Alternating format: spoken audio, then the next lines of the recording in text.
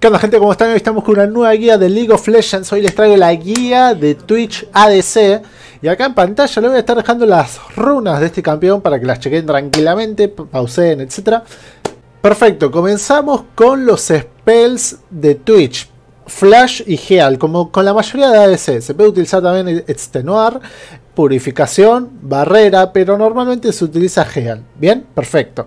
Vamos con el maxeo de habilidades de Twitch. ¿Qué habilidad arrancamos? Con, eh, ¿Cuál subimos primero? Etcétera. Bueno, vamos a arrancar con la E, luego con la Q y luego con la W. A nivel 6 la R. Y la primera habilidad que vamos a subir a nivel 5 va a ser la E. Luego la, la Q. Y luego la W. Y por último, bueno, a nivel 6, 11 y 16, la R. Perfecto. Vamos con las habilidades de Twitch. Vamos con la pasiva. Los eh, veneno mortal. Los ataques de Twitch infectan a su objetivo e infligen 5 de daño verdadero. Que este daño verdadero aumenta con el nivel del campeón. Más poder de habilidad. Cada segundo durante 6 segundos. Bien, infecta al enemigo durante 6 segundos. Este efecto se acumula hasta 6 veces. Daño por segundo máximo 30, que también, bueno, escala con nivel y poder de habilidad. O sea que si nosotros le pegamos un ataque básico, va a recibir veneno. Y 5 de daño verdadero. Segunda, 10. Tercera, 15 y así. Y las máximas acumulaciones son 6. Y nos vamos a dar cuenta porque el, el logo de la pasiva se va a agrandar, va a quedar uno solo. Entonces vamos a hacer el daño máximo eh, verdadero. Vamos con la Q emboscada, que Twitch entra en camuflaje y obtiene un 10% de velocidad de movimiento durante 14 segundos. La velocidad de, movimiento aumenta un 30% al estar cerca de un campeón enemigo, que no pueda verlo. Tras salir de camuflaje, Twitch obtiene un 60% de velocidad de ataque durante 5 segundos. Cuando un campeón muere al estar bajo el efecto de veneno, el enfriamiento de estabilidad se restablece. O sea que si nosotros activamos la Q, vamos a tener velocidad de movimiento y vamos a ser invisibles. Y si nos acercamos estando invisibles a un enemigo, vamos a tener un poco más de velocidad de movimiento. Y cuando salgamos, vamos a obtener velocidad de ataque. ¿Ven? Twitch aumenta su velocidad de ataque. Si nosotros matamos al objetivo o recibimos una asistencia mientras ese enemigo haya tenido veneno, eh, se va a resetear el enfriamiento de la cuba, o sea que la vamos a poder activar de nuevo. Obviamente, si nosotros nos acercamos mucho, el enemigo nos va a ver. Ahí el enemigo nos está viendo. Entonces a esta distancia ya no nos ve, pero si nos acercamos, ahí nos ve. Así que con eso hay que tener cuidado. Y vamos con la W. Tonel de veneno. Twitch lanza un barril que añade una acumulación de veneno mortal a todos los enemigos alcanzados y deja una nube tóxica que permanece durante 3 segundos. Los enemigos que permanezcan dentro de la nube quedan ralentizados un 50%, que ese porcentaje aumenta con poder de habilidad, y reciben una acumulación adicional de veneno mortal cada segundo. Nosotros tiramos la W acá, todos los enemigos dentro del círculo van a ser envenenados y ralentizados, y por cada segundo dentro del círculo se les va a ir sumando una acumulación de veneno, que lo máximo va a ser eh, cuatro acumulaciones. La primera ha sido sí al impacto con el suelo y ya las otras tres eh, es por la duración de la W. Vamos con la E que es contaminar. Inflige 60 de daño físico a todos los campeones cercanos bajo el efecto de veneno mortal, o sea, los enemigos envenenados. Más 37 de daño físico y tal, tal daño de daño mágico que es su escala con probabilidad, adicionales por cada acumulación de veneno mortal. Entonces, si yo le pego a esto, ahí la puedo activar. Entonces, le voy a hacer daño físico. ¿Ven? ¿Qué pasa con esto? Si yo, eh, bueno, vieron la primera acumulación es 96. Entonces, si yo hago las máximas acumulaciones, vamos a ver que va a ser el daño mucho mayor. 96, 200, 281, pasó bastante. Así que eso es muy bueno. Escala con eh, daño de ataque y por habilidad. Para tener en cuenta. Y bueno, esto obviamente es con todos los enemigos que están envenenados. Yo activo la, E, le pega a los tres, no es que solo a uno. Eso para que, para que lo, sepan. Y por último, vamos con la R, lluvia de proyectiles. Twitch libera su ballesta, con lo que obtiene 300 de daño de, alcance de ataque, perdón, y 70 de daño de ataque. Y sus ataques se vuelven proyectiles perforantes durante 6 segundos. Estos proyectiles impactan a todos los enemigos que atraviesan, pero infligen un 10% menos de daño a los objetivos subsecuentes, hasta un mínimo de un 60% de daño. Entonces, yo activo mi R, voy a tener más alcance y voy a recibir más daño. Voy a recibir un 70 de daño de ataque. Y mis ataques se vuelven proyectiles perforantes durante 6 segundos. Entonces, yo estoy ahí, activo la R y ven, va a traspasar. Y al primer objetivo impactado le va a hacer más daño que al segundo y así sucesivamente. O sea, los enemigos detrás del primero van a recibir mucho, eh, van a recibir menos daño. Em, así que eso, primero va a ser, o sea, imagínense, este va a recibir un 10% menos de daño. Este sería un 20 si es que está acá, un 30, un 40, un 50 y un 60. Y bueno, para que vean bien el rango de la R de Twitch, e, es este círculo que, marca acá, que marca en esta parte. Si nosotros activamos, es bastante, bastante rango. ¿Ven? Y bueno, es para que eh, lo, vean bien. Ok, vamos ahora con los ítems de Twitch. Vamos a arrancar con una espada de Doran, eh, eh, la poción y bueno, el ward. Y bueno, acá tenemos bastante variedad.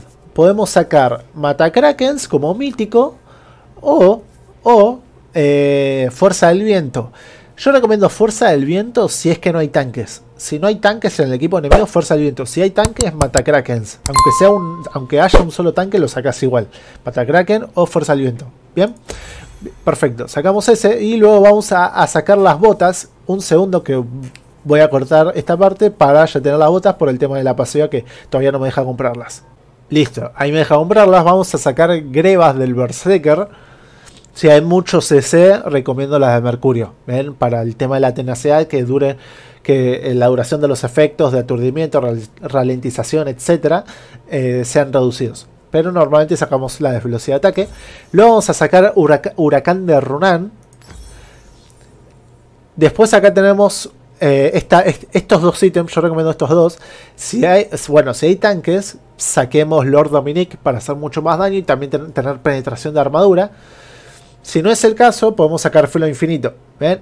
Eh, cualquiera de los dos, dependiendo del caso.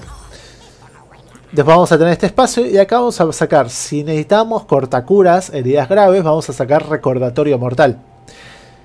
Si no, si no es necesario, vamos a sacar Lord Dominic. Bien, si no es necesario. Y por, por último, eh, eh, podemos sacar un ángel guardián o una sanguinaria. Yo sacaría más que nada un ángel guardián simplemente para tener eh, más, más protección, más defensa, por si me focusean. Así que sacaría esto.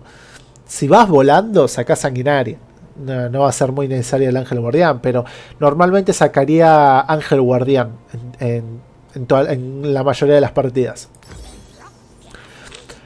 Bueno, el, el Lord Dominic puede ser reemplazado por Recordatorio Mortal.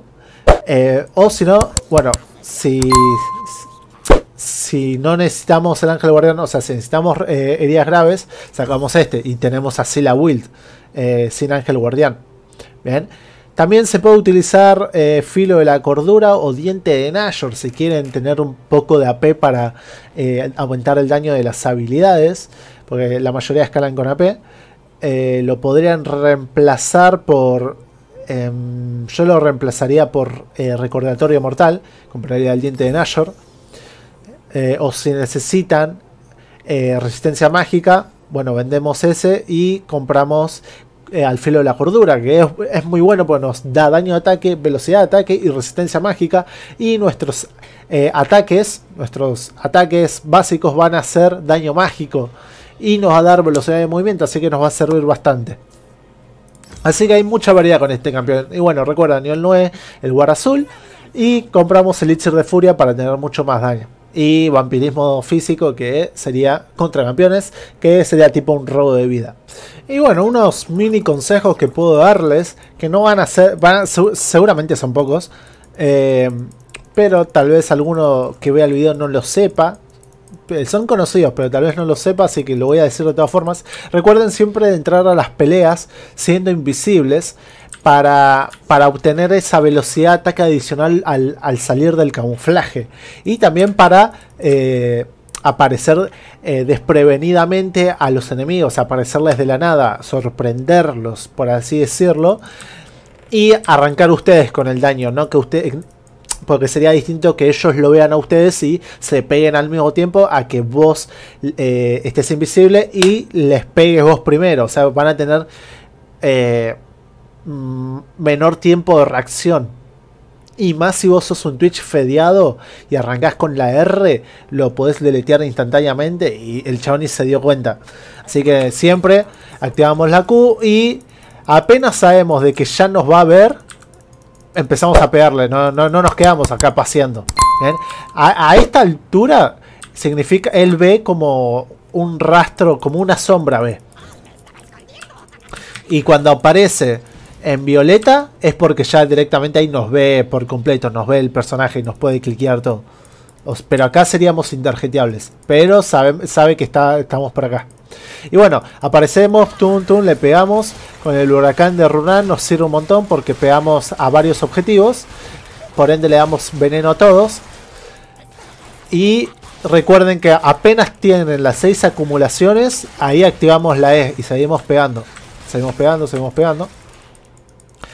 Cuando matamos al enemigo volvemos a activar la Q y tratamos, no sé, de alejarnos. Si vemos que tenemos poca vida, nos alejamos o, simplemente aprovechamos la invisibilidad para reposicionarnos y sorprender al enemigo que sobrevivió eh, por otra parte.